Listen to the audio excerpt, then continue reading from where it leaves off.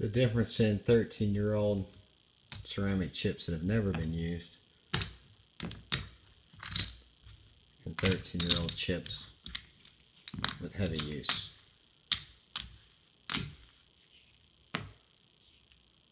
Little cosmetic wear.